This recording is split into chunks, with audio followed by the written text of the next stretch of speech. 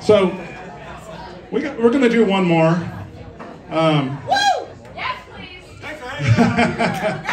thanks so much for you guys for coming out. And up next is uh, Jeff Miller, and he's going to bring his talents to the stage. And I, I haven't seen Jeff play yet, but I've heard great things about him. I'm going to hang out and have a beer and check him out for sure. So, all right. And thank you all again for coming out, checking out Dos Hombres. Plus one.